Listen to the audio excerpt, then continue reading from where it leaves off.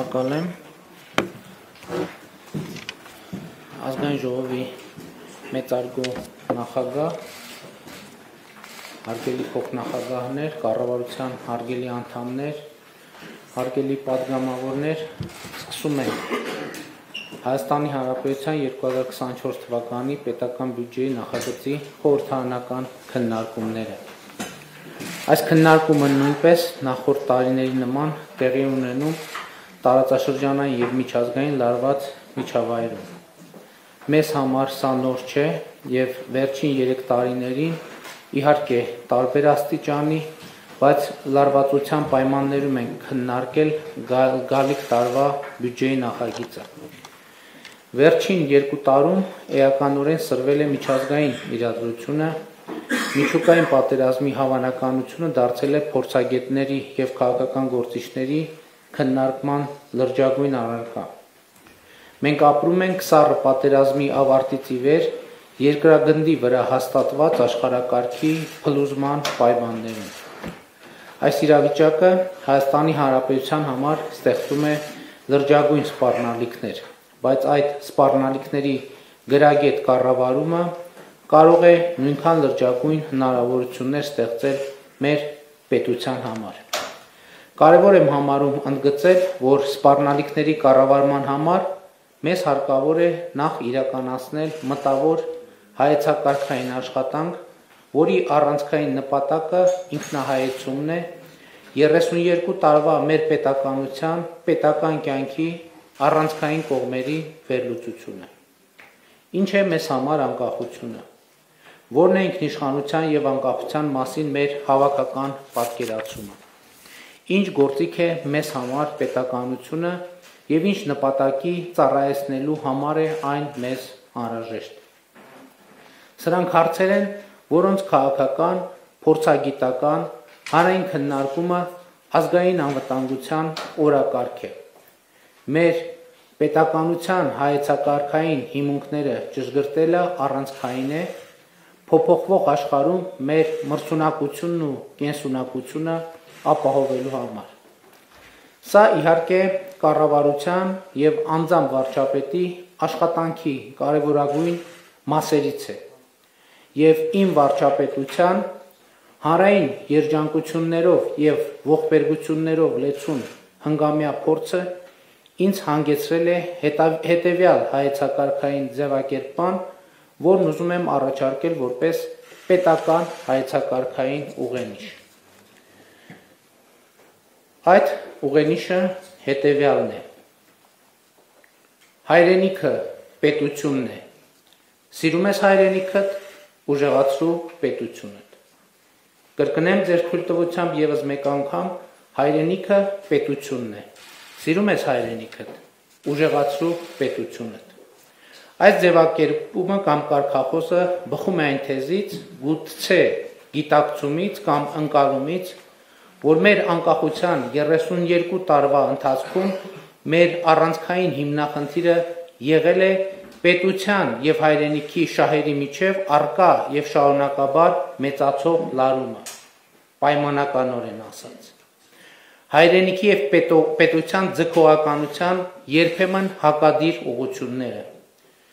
պետության եւ հայրենիքի միջև ընտրություն կատարելու անհնարինությունը բայց որքան էլ անհնարին լինի ընտրությունը, այն պետք է կատարվի եւ այդ ընտրությունը կատարելու պահին է գալիս ամենակարևոր գիտակցությունը եւ գիտակցումը, որ պետությունը միակ եւ անփոխարինելի հայրենիքն է ու պետությունը, նրա անկախությունը, ինքնիշխանությունը, տարածքային ամբողջականությունը, ինստիտուտները կայացնելն ու զարգացնելը, այդ գործին նպաստելը հայրենասիրության գերադրական աստիճան։ Սա հասունացման ճանապարհ է եւ այդ ճանապարհն ենք անցնում բոլորով՝ կառավարություն, խորհրդարան, փորձագիտական հանրություն եւ ընդհանրապես հանրություն ու ժողովուրդ։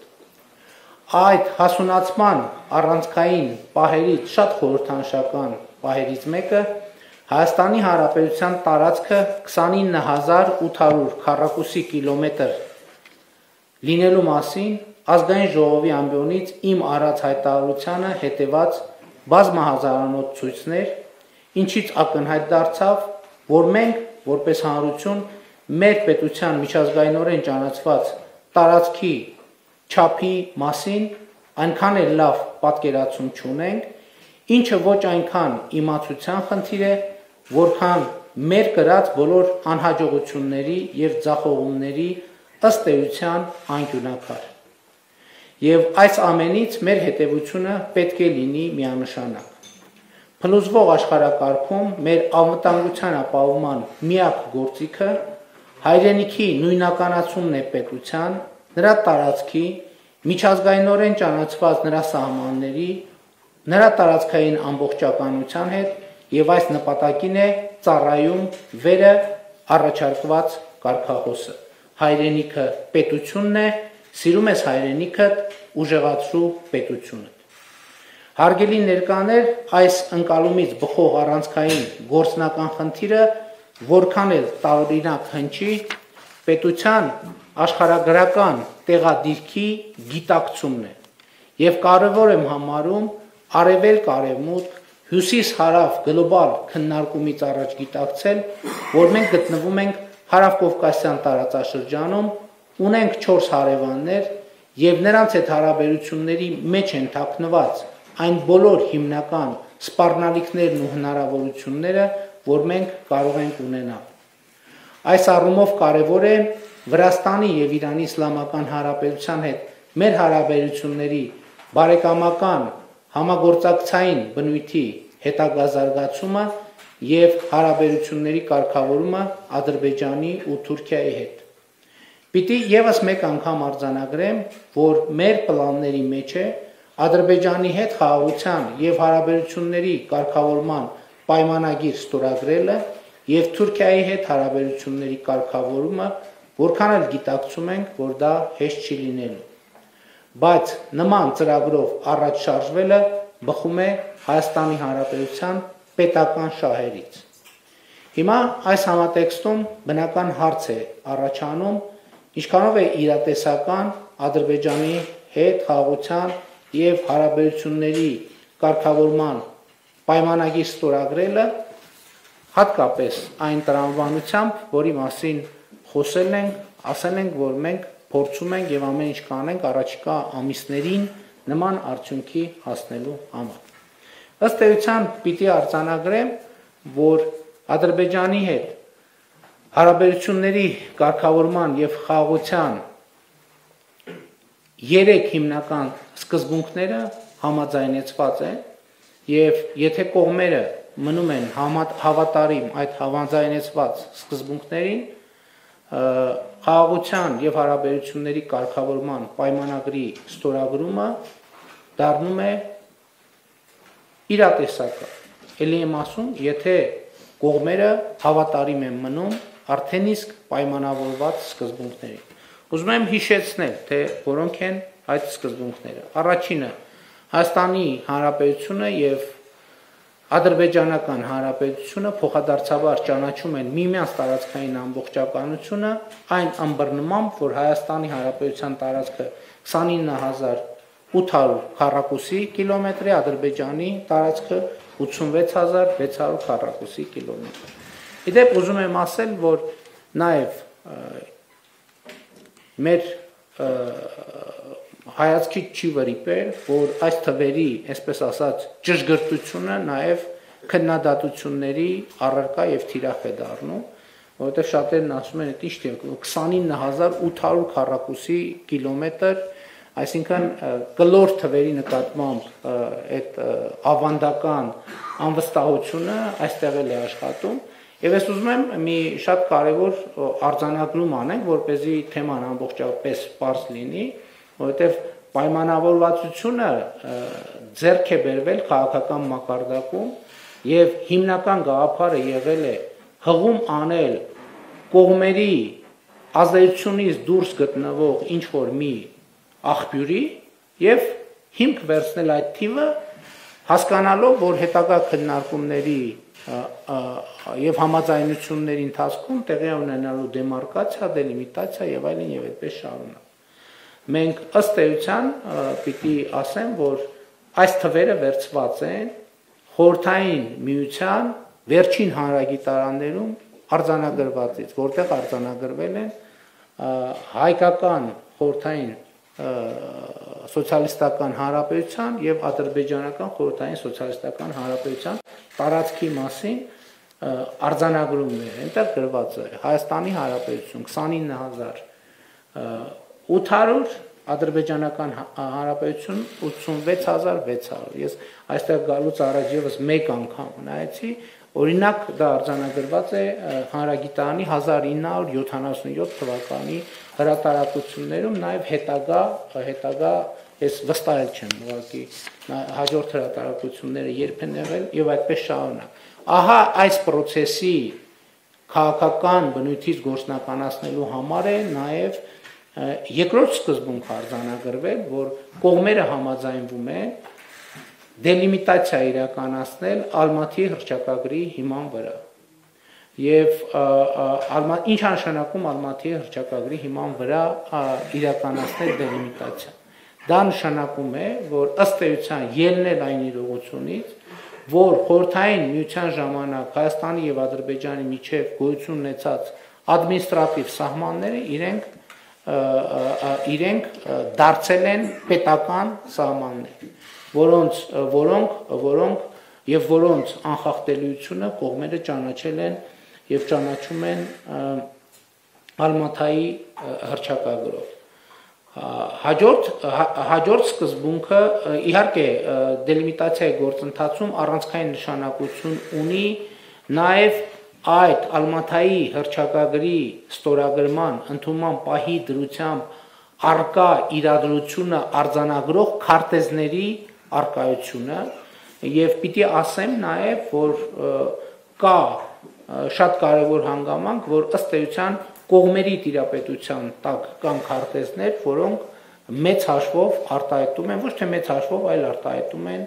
այդ իրողությունները եւ հետեւաբար կողմերի քաղաքական կամքի արկայության դեպքում այս գործընթացով նույնպես բավականին արագ եւ արդյունավետ կարելի առաջ գնալ։ Հա երրորդ սկզբունքը, որը ըստ էության նախորդ երկու սկզբունքների մեջ ներառված է, հետեւյալն է, որ բացվում են տարածաշրջանային կոմունիկացիաները կողմերի ինքնիշխանության իրավազորության հիման վրա եւ տարածաշրջանային կոմունիկացիաները գործելու են փոխադարձության եւ հավասարության հիմունքներով։ Սա էլ երրորդ սկզբունքն է եւ այս սկզբունքի վերաբերյալ մեր դիրքորոշումները մենք վերջերս ամփոփեցինք խաղաղության խաչմերուկ նախագծին ամբողջական եւ հայեցակարգային տեսք տալով այս բրոշուրի մասին ես արդեն հասցրել եմ ձեզ պատմել ինչու էր անհրաժեշտ սա անել սա կարևոր հանգամանք է որովհետեւ ամենատարբեր եւ ձեզ հայտնի հանգամանքների բերումով այս թեմայի շրջանակներում տեղի էին ունենում կամ կարող էին տեղի ունենալ բազմաթիվ տարընթերցումներ, բազմաթիվ հակադիր մեկնաբանություններ եւ առանցքային խնդիր է ճշգրտել սկզբունքները այդ թվում տարածաշրջանային կոմունիկացիաների բացման եւ աշխատանքի, որը մենք ամփոփել ենք, ամփոփել ենք խաղաղության խաչմերուկ նախագծի նախագծի բովանդակության մեջ, ընդ որում այդ սկզբունքների մեջ ոչ մի նորություն չկա եւ պիտի արձանագրեմ, որ ըստ էության դրանք նույնպես որոշակի արդեն իսկ տեղի ունեցած պայմանավորվածությունների, ընկալումների, ըմբռնումների հիման վրա ձևավորված սկզբունքներ են, այլ բան, որ մենք անհրաժեշտ համարեցինք դրանք մի տեղում հավաքելը։ Մի կարևոր առանձնահատկություն այս թեմայի վերաբերյալ ուզում եմ ընդգծել, որ խաղաղության խաչմերուկի նախագծում մենք ելի տարընթերցումներից խուսափելու համար արձանագրում ենք հետեւյալը, որ կողմերից յուրաքանչյուրը իր տարածքում իր տարածքում իր սահմանին ապահովում է սահմանային մաքսային հսկողություն եւ բացի այդ կողմերից յուրաքանչյուրը իր տարածքում ապահովում է ընդհանուր առմամբ կոմունիկացիաների անվտանգությունը, որոնք խոսքը վերաբերվում է ճանապարհներին, ավտոճանապարհներին, երկաթուղիներին, ավիահաղորդակցության ուղիներին, խողովակաշարերին, մալոկներին, էլեկտրահաղորդման գծերին եւ կողմերից յուրաքանչյուրը իր տարածքում ապահովում է անվտանգությունը կոմունիկացիաների եւ բացի այդ այդ կոմունիկացիաներով մարդկանց տրանսպորտային միջոցների բեռների անվտանգ անցումը այսինքն իր տարածքում ապահովում է յուրաքանչյուր կողմ ընդհանուր առմամբ ենթակառուցվածքների անվտանգությունը ակնհայտորեն եւ իր տարածքով կոմունիկացիաներով մարդկանց տրանսպորտային միջոցների, բեռների, բեռ ասելով ապրանքների անցման անվտանգությունը ապրանք ասելով պետք է նկատի ունել նաև էլեկտրական հոսանք, ես չգիտեմ, հնարավոր խողովակաշարերով ռեսուրսներ, ինտերնետային հաղորդակցություն եւ այլն եւ այսպես շարունակ։ Եվ կարևոր եմ համարում ընդգծել, որ Հայաստանի Հանրապետությունում տեղի են ունեցել եւ տեղի են ունենում կարևորագույն ինստիտուցիոնալ բարեփոխումներ, որոնք այդ թվում միտված են այս նպատակին։ Ես արդեն առիթ ունեցել եմ հայտարարելու, որ մենք հիմա ըստ էության մի գործընթացի մեջ ենք, երբ Հայաստանի ազգային անվտանգության ծառայություն ծառայության կազմում ստեղծվում է հատուկ ստորաբաժանում, որի նպատակը կոմունիկացիաների անվտանգությունը նշված ապահովելն է լինելու եւ բացի այս ընդամենը շաբաթօրը մենք արդեն հանրապետության ամբողջ տարածքով գործարկեցինք բարեկային ոստիկանության աշխատանքը, որի խնդիրների մեջ, կարևորագույն խնդիրների մեջ իհարկե մտնում է նաև կոմունիկացիաների, անձանց, բեռների, ապրանքների, տրանսպորտային միջոցների անցումը Հայաստանի Հանրապետության տարածքով հարգելի գործընկերներ, ուզում եմ արձանագրել էլի, որ այս երեք սկզբունքը եւ գումարած իհարկե եւս մեկ հիմնարար հանգամանք, որ այս հարաբերությունների ընթացքում կողմերը հրաժարվում են ուժի կամ ուժի կիրառման սպառնալիքից եւ ահա եթե այս արձանագրումները բոլոր պայմանավորվածությունները, որոնք տարբեր փաստաթղթերում արձանագրված են, ինչ որ ես թվարկեցի, ամեն ինչ արձանագրված է, մասնավորապես 2023 թվականի մայիսի 14-ի եւ հուլիսի 15-ի Երակոմ Բրյուսելում Երակոմ հայտարարությունների արդյունքներով ընդունված հայտարարության մեջ անդրադառնալով Հայաստան-Թուրքիա հարաբերություններին ուզում եմ նաև հույս հայտնել, որ առաջիկայում մենք կունենանք հատուկ ներկայացուցիչների քննարկումների, բանակցությունների արդյունքում ձեռք բերված պայմանավորվածությունների իրագործում, որը վերաբերվում է հետևյալին։ Հայաստան-Թուրքիա սահմանը այս փուլում բացվում է երրորդ երկրների քաղաքացիների համար եւ դիվանագիտական անznագիր կրողների համար։ Նաև պետք է ասեմ, որ մենք սա իհարկե բացի քաղաքական պայմանավորվածությունից նաև ենթակառուցվածքային էական աշխատանքի է արվել, մասնավորապես մենք վերա վերազինման, վերականգնման ուղղությամբ աշխատել ենք մարգարայի անցակետում եւ մենք այս առումով ըստ էության արդեն պատրաստ ենք նման զարգացումների եւ հույս ունենք այդ պայմանավորվածությունները կյանքի կյանքի կկոչվեն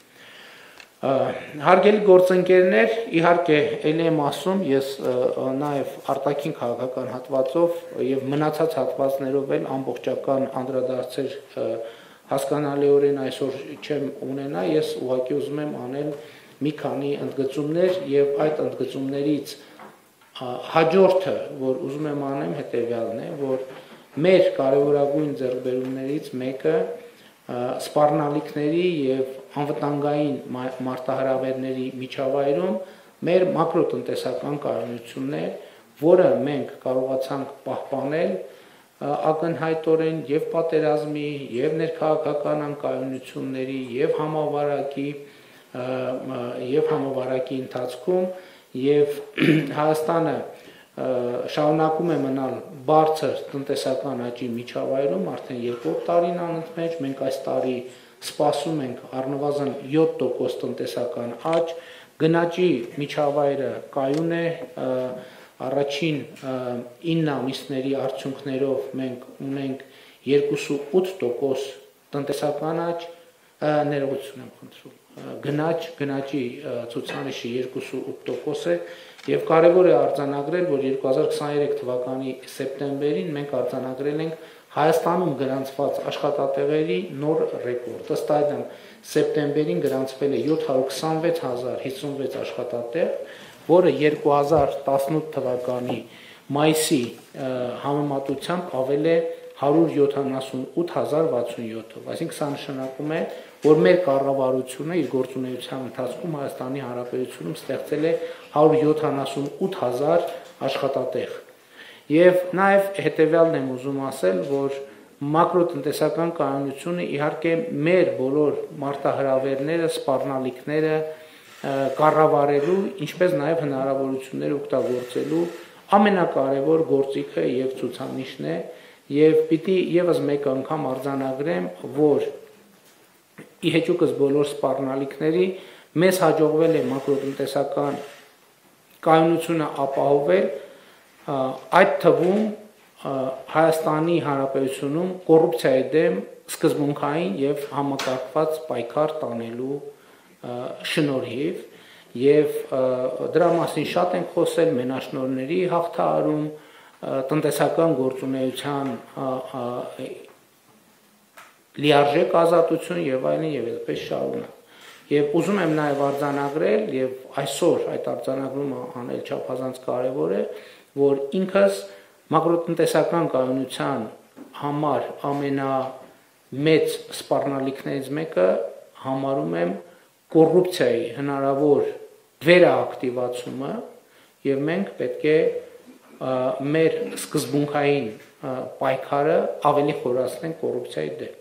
Պիտի արձանագրեմ նաև, որ մենք մտահոգված ենք այն տեղեկություններով, որ ամենատարբեր տեղերում, ամենատարբեր մակարդակներով, կաշառքներով, կոռուպցիոն եղանակներով Հայաստանի Հանրապետությունում դեռևս հնարավոր է հարցեր լուծել, եւ ես ուզում եմ վերահաստատել եւ առանձնահատուկ ընդգծել մեր քաղաքական կամքը որ որևէ որևէ ճգնաժամ, որևէ ցնցում, որևէ դժվարություն չի կարող մեզ մեր պայքարը կոռուպցիայի, հակակոռուպցիոն պայքարը որևէ կերպ թույլատրել։ Սա ինչպես արդեն նկատեցիք, ազգային անվտանգության, ընդհանրապես երկրի պետության շահերի հարց է եւ նաեւ ես վերջերս հակակոռուպցիոն կոմիտեում եւ նաեւ կոռուպցիայի կանխարգելման խորհրդում ունեցած քննարկումների ժամանակ ընդգծել եմ հետեւյալը այսօր կոռուպցիայի դեմ պայքարը Հայաստանի Հանրապետությունում նույնքան կարևոր է, նույնքան հրատապ է, ինչքան 2018 կամ 2019 թվականին։ Եվ մենք մենք մտահոգված ենք խորապես այն ընկալմամբ, որ Հայաստանի Հանրապետությունում ելի եմ ասում տարբեր տեղերում հնարավոր է փողով, կաշառքով եւ այլն տարբեր հարցեր լուծել։ Եվ եկեք պայմանավորվենք, որ որ այստեղ, ինչպես եւ նախկինում, ինչպես ժողովրդական լեզվով ասվում է, ներում բեկում չի լինելու։ Որևէ նմանատիպ դեպք, անկախ նրանից դա տեղի կունենա նախկին, ներկա, որևէ իշխանության ուղակի կողմից դա պիտի արժանանա հստակ ուժեղ հատու եւ իհարկե օրինական գնահատականի։ Հարգելի գործընկերներ, այդ թվում մակրոտնտեսական կայունության շնորհիվ է, որ մենք ի վիճակի եղանք մեկ շաբաթվա ընթացքում 100 հազարից ավելի փախստականներ ընդունել Լեռնային Ղարաբաղի Եվ այս արձանագրումը ես արել եմ կառավարության նիստում եւ ուզում եմ նաեւ խորհրդանական միջավայրում էլ անել մեր կառավարման կառավարությանը ուղված ամենա սուր բողոքներից կամ քննադատություններից մեկը 2018 թվականից ի վեր եղել է այն, որ մենք կառավարման որակի եւ կառավար կառավարման կարողությունների բաց թողումներ ունենք, խնդիրներ ունենք կամ նույնիսկ ավելի սուր գնահատականներ եւ փորձ սրա հետ մենք երբեք չենք համաձայնվել եւ փորձեր արվում շահարկել այն փաստը, որ ժողովրդական ոչ բռնի թավշյա հեղափոխությամբ եկած ուժը այո իշխանության հասնելը մի խնդիր է, բայց պետական կառավարում մի խնդիր, կարծում եմ Լեռնային Ղարաբաղի ժողովրդի բռնի տեղահանված մեր հայրենակիցներին ընդունելու գործընթացը դարձավ անառարկելի ապացույցը այն բանի, որ Հայաստանի Հանրապետության կառավարությունը եւ կառավարող մեծամասնությունը բավականին արդյունավետ կառավարում են իրավիճակը Հայաստանի Հանրապետությունում եւ ես եւս մեկ անգամ ուզում եմ շնորհակալություն հայտնել բոլոր այն մեր գործընկերներին եւ այդ թվում հասարակական կազմակերպություններին, կամավորներին, ովքեր այս իրավիճակում այս իրավիճակը կառավարելու գործում աջակցություն են ցուցաբերել։ Նաև ուզում եմ արձանագրել, որ այս պայդրությամբ շուրջ 100.000 բռնի տեղահանված արդեն իսկ ստացել է մեր խոստացած 100.000 աջակցությունը 100.000-ական դրամ յուրաքանչյուրին, որից այդ ստացած ստացածների թվից 25 ավելի քան 25000-ը երեխաներ են։ Հիշեցնեմ, այդ 100.000 միանվագ աջակցությունը ստանում էին ստանում են բոլոր մարդիկ անկախ տարիքից եւ նաեւ արձանագրեմ, որ 40 պլյուս 10 հազար դրամ կեցության աջակցության գումարը այս պայդրությամբ ստացել է 41610 մարդ, ծրագրի շահառու հանդիսացող 39340 մարդ եւ ստացել են 40 պլյուս 10000 իսկ 2270 մարդ միայն 10000-ական դրամները, որովհետև նրանք Հայաստանի Հանրապետությունում ունեն բնակարան։ Առաջիկայում նախատեսվում է նաև սկսել հատկացումները 50 պլյուս 50 հազար դրամ առաջնահերթ սպառման ծախսերի աջակցության ծրագրով եւ ելի ուզում եմ ընդգծել, որ տեսեք 100 հազար 100 հազարով դեռևս մինչև այս պահնել ոչ բոլորն են ստացել այդ աջակցության ծրագրեր։ Ես սա ուզում եմ ընդգծել։ Այսինքն մեր թիվը 100.000-ից ավելի է, բայց դրա միակ պատճառը հետեւյալն է, եթե մեր քույրերը եղբայրները դեռևս չեն ստացել այդ գումարը, նշանակում է նրանց տվյալների մշակման հետ կապված ինչ որ խնդիրներ կան եւ այդ խնդիրները ընթացքի մեջ են եւ իհարկե հնարավորինս արագ ժամկետում բոլորը բոլոր գումարները կստանան։ Ուզում եմ արձանագրել, որ իհարկե այս ծրագրերի մի մասը ինքը որոշակի արտահայտություն պետք է գտնի նաև 2024 թվականի բյուջեում, որովհետև մենք արդեն իսկ այս պահին կայացրած որոշումներով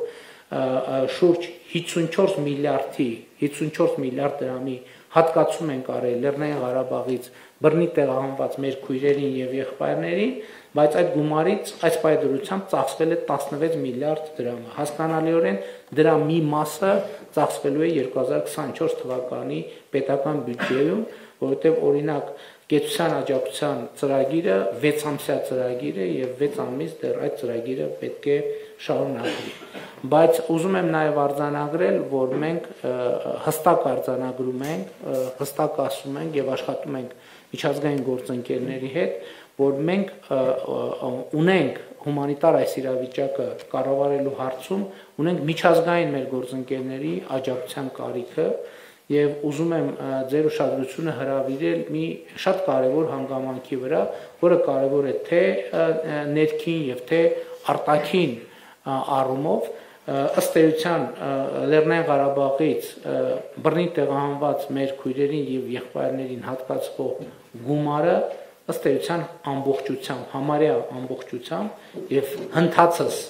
կլինի լիարժեք ամբողջությամբ տրամադրվում է, բաշխվում է բանկային համակարգի միջոցով, այսինքն բանկային քարտերի միջոցով։ Սա ինչով է կարևոր։ Ես խոսեցի կոռուպցիայի մասին, մենք գիտենք, որ սովորաբար կոռուպցիան եւ կոռուպցիոն երևույթները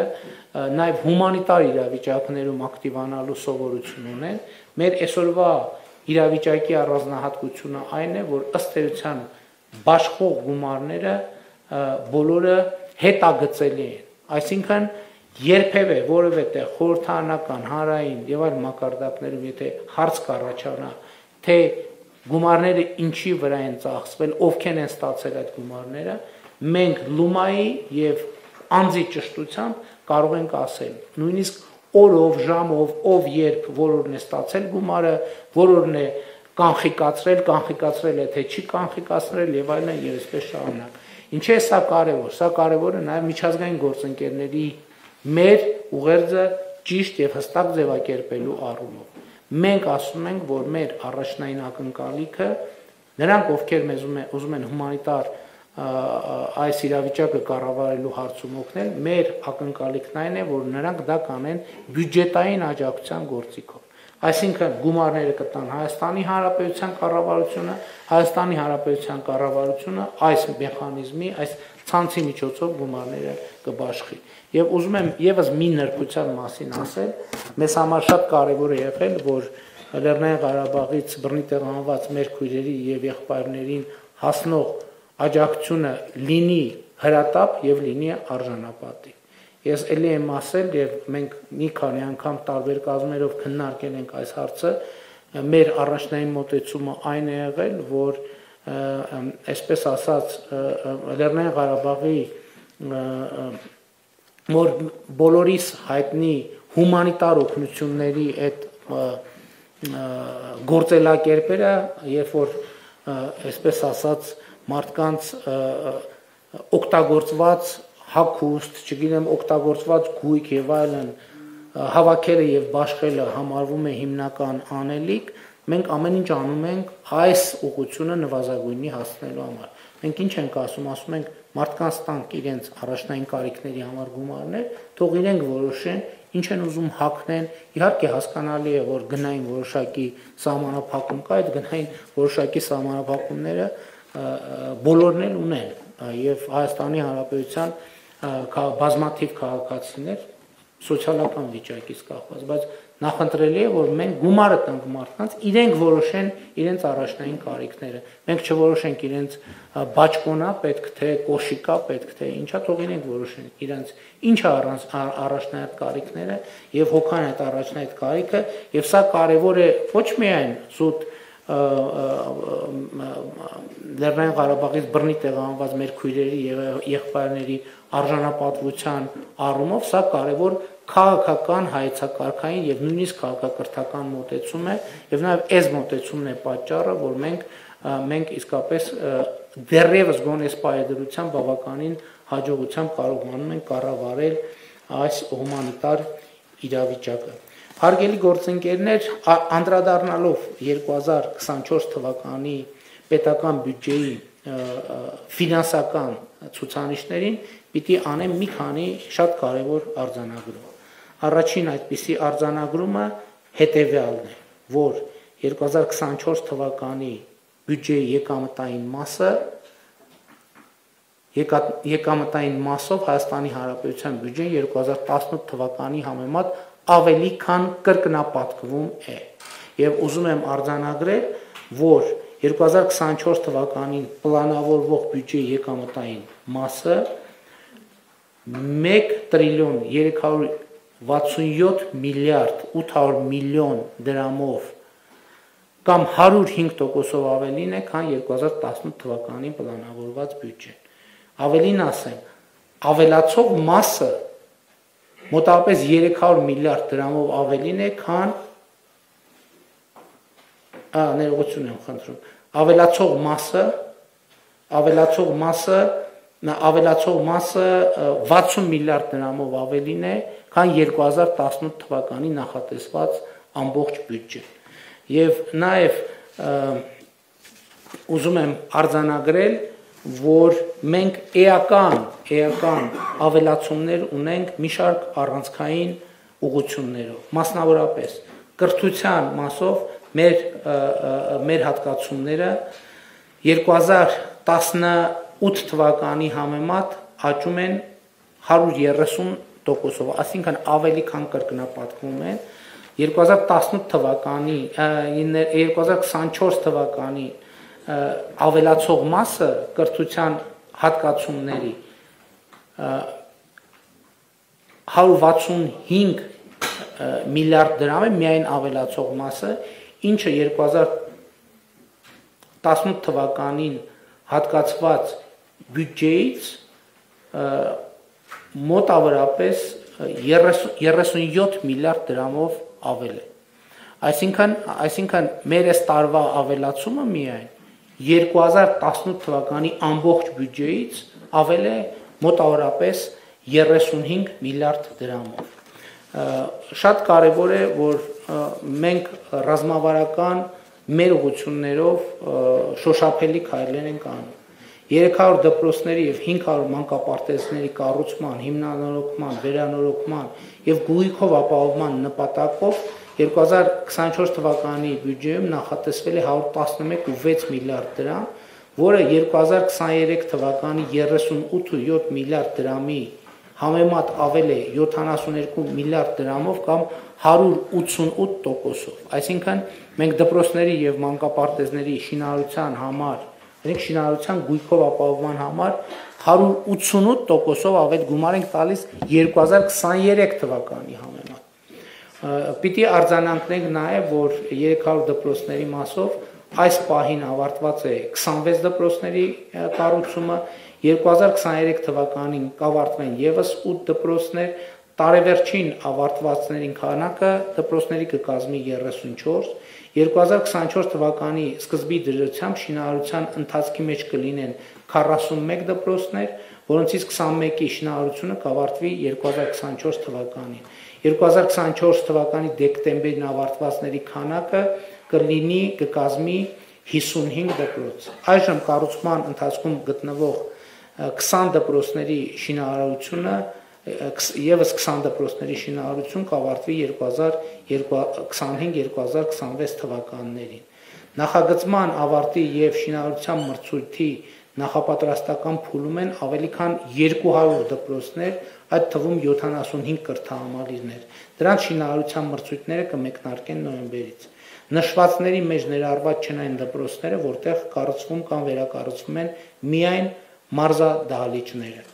Այս պահին ավարտված է 500 մանկապարտեզներից 122 մանկապարտեզների կամ նախակրթարանների կառուցումը կամ նորոգումը կամ կամ հիմնանորոգումը 142-ում դեռևս իրականացվում են շինարարական աշխատանքներ 2024 թվականին շինարարական աշխատանքները կտարվեն 283 հաստատություններում, որոնցից մոտ 100-ի աշխատանքները կավարտվեն մինչև տարեվերջ 2024 թվականի։ Այսինքն այս թվերը բերում եմ ցույց տալու համար, որ մենք բավականին լավ տեմպով իրականացնում ենք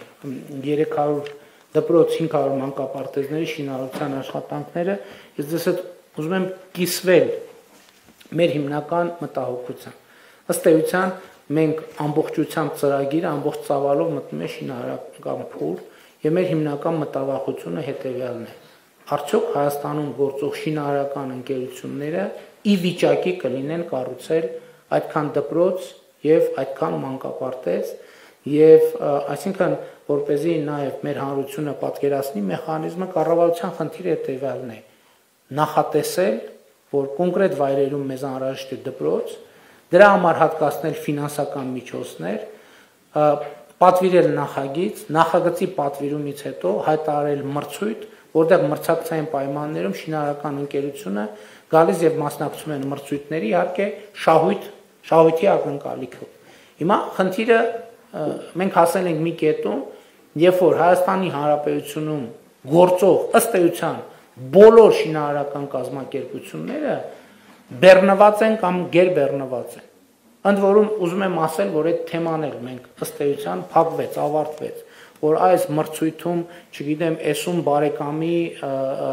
հետ կապ ունեցող ընկերությունա։ Հիմա բոլորի բոլոր բարեկամները բոլոր մրցույթներում հաղթում են։ Այսինքն ոչ մեկ, ոչ ընդդիմությունից, ոչ իշխանությունից, տենց բարև տված մարդ չկա, որ այսօր համապատասխան մրցույթներում չի շահել եւ ընդհակառակը մենք ենք հետևներից ընկած, խնդրում ասում եկեք այս մրցույթներին էլ մասնակցեք, որովհետև մենք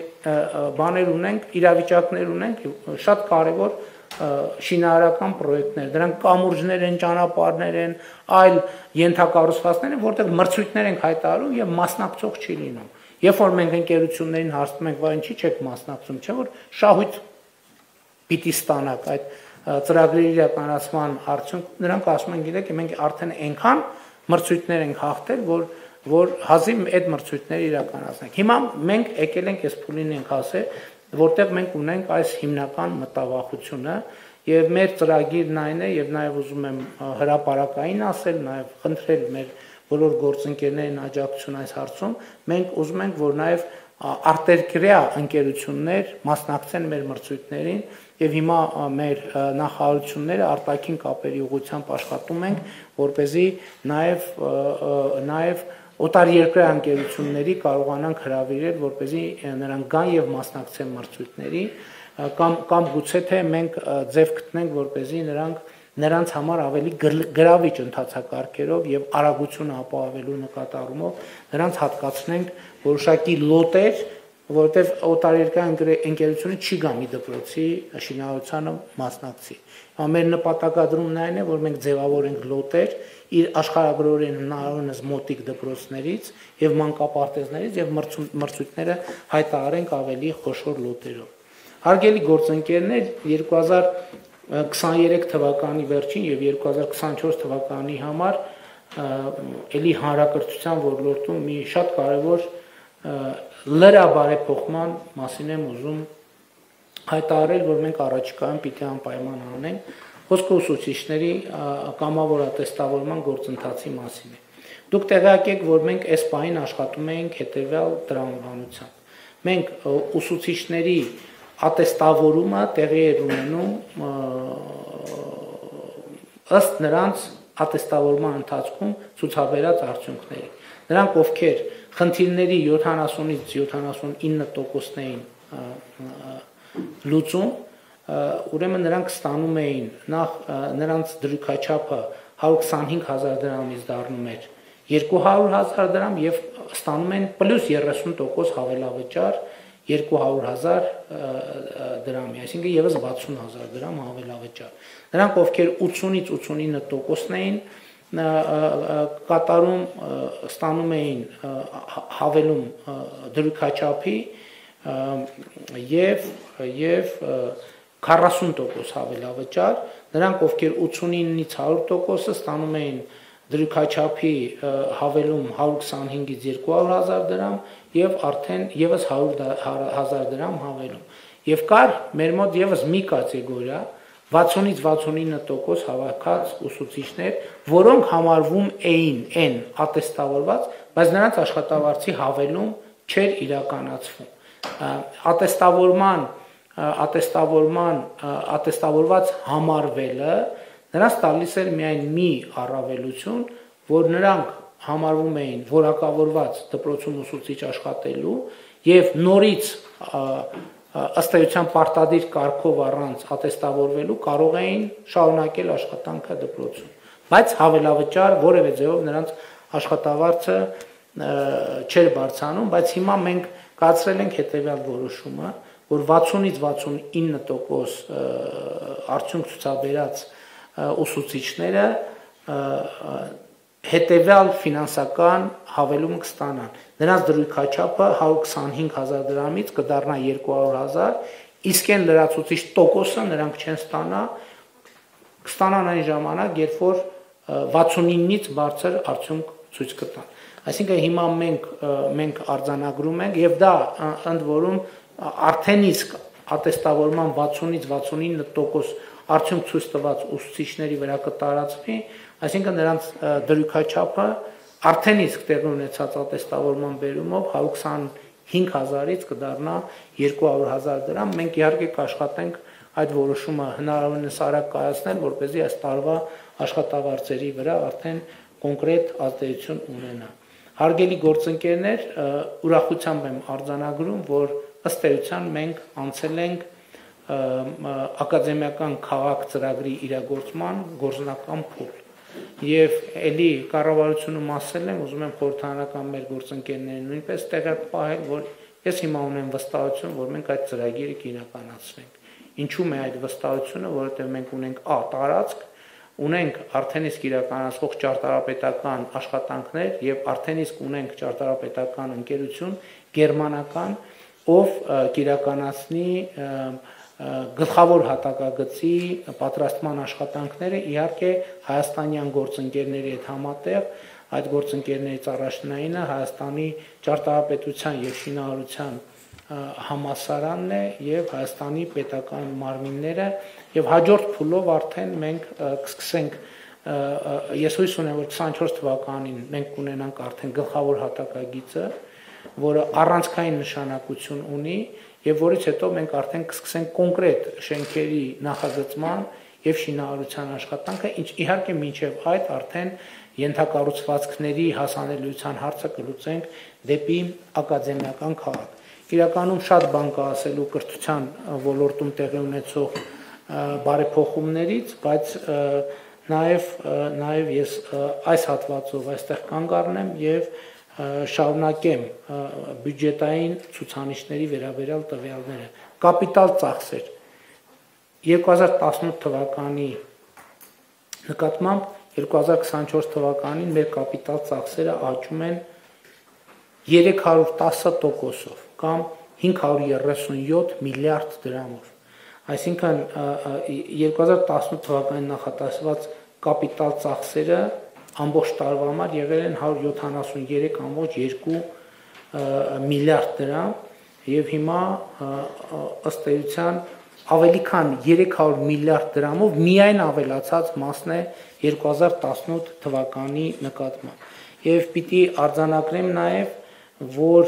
իհարկե մեր պլանների մեջ է մտնում նաեւ 2024 թվականին ունենալ առնվազն 500 կիլոմետր հիմնանորոգված կամ նորոգված ճանապարհ, ու պիտի ուրախությամբ արձանագրեմ, որ մենք հյուսիս հարավի կառուցման մասով ունենք լուրջ լուրջ առաջընթաց եւ մենք վերջերս ստորագրեցինք շինարարության պայմանագիրը Ագարակ Խաչարան հատվածի համար, որը որը կիրականացրի իրանական ընկերություն եւ հույս ունենք որ առաջ այդ շինարարությունը կսկսվի իհարկե մեր պլանները պիտի անկեղծ խոստովանեն որ որոշակիորեն խնդիրներ ունեցան կապված Սիսյան քաջարան հատվածի հետ որտեղ այնտեղ մրցութային ընթացակարգերի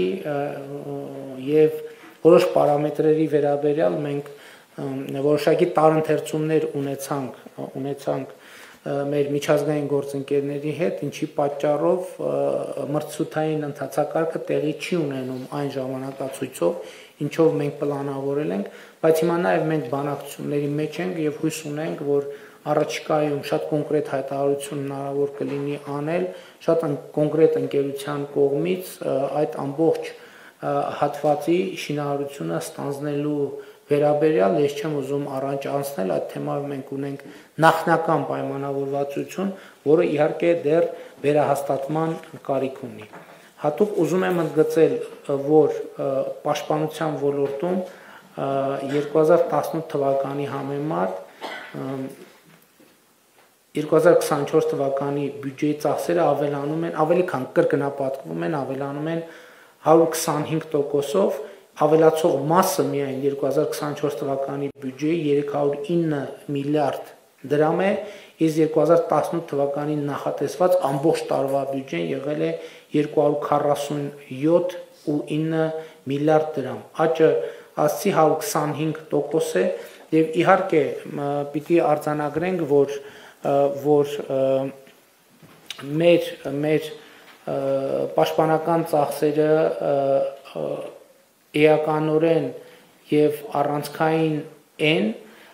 եւ մեզ համար առաջնային է մեր բանակի մեր զինված ուժերի բարեփոխումները եւ նաեւ պիտի ընդգծեմ որ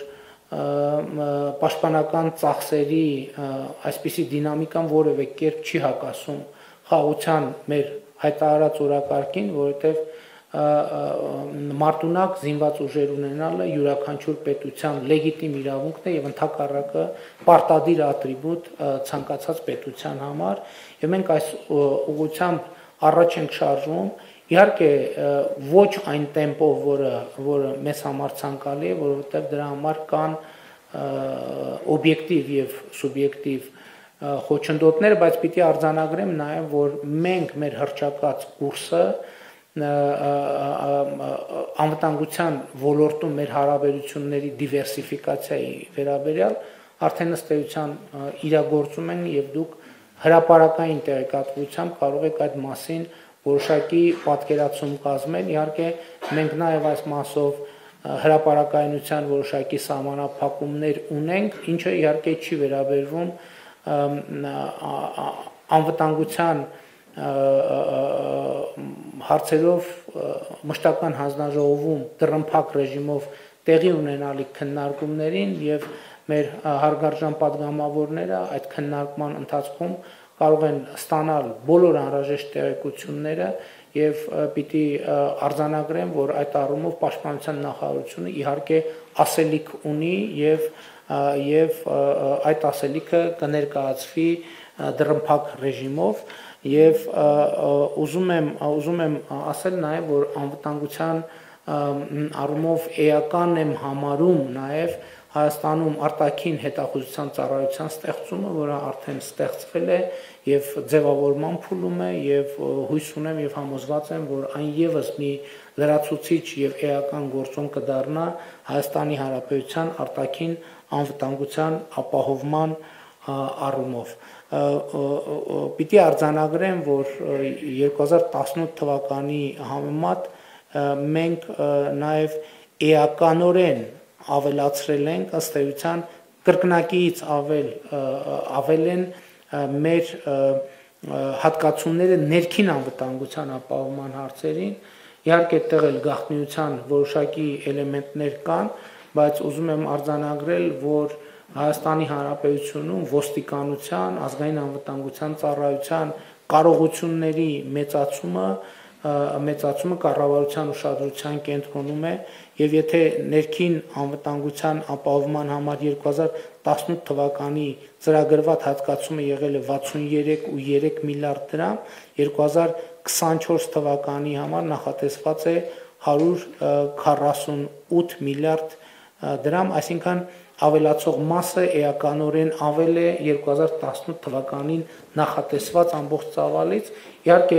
այդ կարողությունների ավելացման մի մասը տեսանելի է, ինչպես արդեն ասացինք, բարեկային ոստիկանությունը եւ պիտի արձանագրեմ, որ ըստ էության Հայաստանի անկախության տարիներին Հայաստանի Հանրապետության ոստիկանությունը երբեք միանվագ այդպիսի ներդրում չի ունեցել եւ մենք բարեկային ոստիկանության ձևավորման համար ներդրել են 29 միլիարդ դրամ, որից 20 միլիարդ դրամը հատկացվել է Հայաստանի պետական բյուջեից, 6 միլիարդը Ամերիկայի Միացյալ Նահանգների կողմից եւ 3 միլիարդը Եվրամիության կողմից։ Ուզում եմ արձանագրեմ, որ բարեկային ոստիկանության ձևավորման ընթացքում մեզ շատ կարևոր աջակցություն են ցույց տալիս նաև ցույց տվել արդեն Ռուսաստանի Դաշնության մեր գործընկերները, որոնք Սևանում ջրային ջրային ծառայության համար հատկացրել են, նվիրաբերել են երկու երկու մոտորանավակ, որը հենց գործարանային պարամետրերով նախատեսված է առափնյա ծառայություն իրականացնելու համար առաջիկայում մենք նաև այդ ծառայության բացման արարողությունը կունենանք։ Հարգելի գործընկերներ, էական եմ համարում արձանագրել նաև թե ինչ զարգացումներ ունենք սոցիալական պաշտպանության ոլորտում, այստեղ 2018 թվականի համեմատ մեր հատկացումները ավել են 346.6 միլիարդ դրամով, պիտի արձանագրեմ, որ շատ էական փոփոխություն է տեղի ունեցել արդեն իս 2000 23 թվականին սոցիալական պաշտպանության ոլորտում այդտեղ մեր պատմության մեջ առաջին անգամ նվազագույն կենսաթոշակը համապատասխանում է նվազագույն պարենային զամբյուղին եւ 2018 թվականի համեմատ մենք նվազագույն կենսաթոշակը ավելի քան կրկնապատկել ենք եւ աճը կազմում է 125%։ Իհարկե, սա այն ոլորտի ոլորտն է, որ մենք հասկանում ենք, որ դեռ շատ անելիքներ ունենք, բայց ընդհանուր առմամբ մենք նաեւ մեր միջնաժամկետ ծախսերի ծրագրով նախատեսել ենք մեր նաեւ կարևոր է քաղաքացիական պայմանագիր խմբակցության մեր գործընկերներին տեղեկացնել այդ մասին միջնաժամկետ ծախսերի ծրագրով մենք նախատեսել ենք որ սոցիալական ոլորտում մինիմումների մեր նախընտրական խոստումը պիտի կատարված լինի խոսքը վերաբերում է կենսաթոշակ նվազագույն պարենային զամբյուղ եւ կենսաթոշակ նվազագույն սպառողական զամբյուղ հարաբերակցությանը եւ արդեն միջնաժամկետ ծախսերի ծրագրով մենք նախատեսել ենք այդ այդ խոստման իրականացումը հարգելի գործընկերներով հարգելի գործընկերներ ամփոփելով ասելիքս այսօրվա ասելիքս իհարկե բյուջեի քննարկումները կշարունակվեն հանձնաժողովներում արդեն ոլորտի մեր ղեկավարները նախարարները եւ մյուս գերատեսչությունների ղեկավարները ավելի մանրամասն կներկայացնեն իրենց ուղություններով կատարվող փոփոխությունները բայց ուզում եմ ընդգծել առողջապահության ոլորտում տեղի ունեցող գործընթացները որ ըստ էության 2018 թվականի համեմատ առողջապահության ոլորտում նույնպես մենք հատկացվող միջոցները ավելի քան կրկնապատկել ենք եւ 2024 թվականին 2024 թվականին 2018 թվականի համեմատ ավելի նախատեսել 86.6 միլիարդ դրամ 2018 թվականի ամբողջ բյուջեն եղել է 84.1 միլիարդ դրամ այսինքն միայն ավելացող մասը ավել է 2018 թվականի առողջապահության ամբողջ բյուջեից եւ ես շատ կարեւոր եմ համարում որ մենք 2024 թվականից սկսում ենք առողջապահության ապահովագրության համակարգի ներդրումը, ինչը չափազանց կարևոր աշխատանք է եւ մեր կարևորագույն ինստիտուցիոնալ բարեփոխումներից մեկը պետք է լինի եւ ես ուրախ եմ արձանագրել, որ մենք ամենատարբեր ֆորմատներում շատ լայն քննարկումներ ենք իրականացրել եւ կշարունակենք քննարկումները բայց պետք է նաև արձանագրել նման փոփոխություններ, բարեփոխումներ անելու համար անհրաժեշտ է ունենալ շատ ուժեղ քաղաքական կամք եւ մեր քաղաքական թիմը այդ քաղաքական կամքը ունի մնում է որ մենք խորհրդանում եւ կառավարությունում կարողանանք առավել առավել կառուցողական մտնոլորտում առաջ տանել այդ աշխատանքը եւ հասնել վերջնական որոշումների կայացման։ Հարգելի գործընկերներ, իմ խոսքի առաջին մասում ես անդրադարձ ունեցա այն հարցին, թե ի վերջո մենք պետք է համաձայնության հասնենք կամ արձանագրենք, թե ի վերջո Հայաստանի Հանրապետությունը որպես գործիք, որովհետև ի վերջո պետությունը եւ նպատակ է եւ միջոց է։ Մեզ ինչ նպատակի համար ենք նախատեսում եւ ինչ նպատակ նպատակ ենք հետապնդում այդ այդ այդ շատ բարձր բարձր եւ արժեքավոր գործիքի կառավարմամբ, ստեղծմամբ, ուժեղացմամբ։ Ես ուզում եմ արձանագրել, որ այդ նպատակներից մեկը ի վերջո իմ կարծիքով պետք է ունենա հետեւյալ ձևակերպում, որ Հայաստանի Հանրապետությունը նրա համար է, որ իր քաղաքացիների ապրելը, անվտանգությունը եւ բարեկեցությունը իր տարածքում դարձնի որպես առանցքային նպատակ։ Մեծ հաշվով հարգելի գործընկերներ, պետությունը պետություն է այնքանով, թե ինչքան մարդ է այնտեղ ապրում, ինչքան մարդ է այնտեղ ծնվում, ինչքան մարդ է այդ երկրի հետ կապում իր եւ իր երեխաների ապագան։ Եվ այս առումով ուրախությամբ պիտի արձանագրեմ, որ առնվազն 2023 թվականի հունվար-օգոստոսին մենք ունենք վերջին 5 տարիների համար ծնելիության ամենաբարձր ցուցանիշը եւ սա շատ կարեւոր ազդակ է եւ ընդ որում մենք ունենք նաեւ բնական աճի ամենաբարձր ցուցանիշը վերջին տարիների համար եւ ընդհանրապես եթե չեմ սխալվում նույնիսկ պատմականորեն եւ սրանով եմ ես ուզում ամփոփել իմ այսօրվա ելույթը արձանագրելով, որ ահա սա է մեր առանցքային նպատակը, որ Հայաստանի Հանրապետությունում մարդիկ ապրեն, լինեն ազատ, ունենան ստեղծագործելու եւ երջանիկ լինելու հնարավորություն, ոչ միայն իրավունք, այլև իրագործելի հնարավորություն եւ իհարկե այս առումով հիմնական եւ առանցքային խնդիրը անվտանգությունն է եւ արտաքին եւ ներքին անվտանգությունը եւ այդ անվտանգությունը եւ ստեղծագործելու ազատ ժողովրդավարական հանրությունում բարեկեցիկ եւ երջանիկ ապրելու հնարավորությունը ստեղծելն է Հայաստանի Հանրապետության կառավարության առանցքային նպատակը եւ ուղենիշը այն ըմբռնմամբ, որ քաղաքացիները իրենք անձամբ պիտի հնարավորություն ունենան աշխատանքով ստեղծագործելով իրենց երջանկությունը եւ բարեկեցությունը ապահովել եւ մեր հավաքական ջանքերի արդյունքում է որ մենք իրար հետ պետք է կարողանանք ապահովել Հայաստանի Հանրապետության եւ նրա քաղաքացիների արտաքին եւ ներքին անվտանգությունը, բայց ելի ուզում եմ ասել, որ անվտանգությունը սովորաբար կամ առավելապես հաճախ ընկալվում է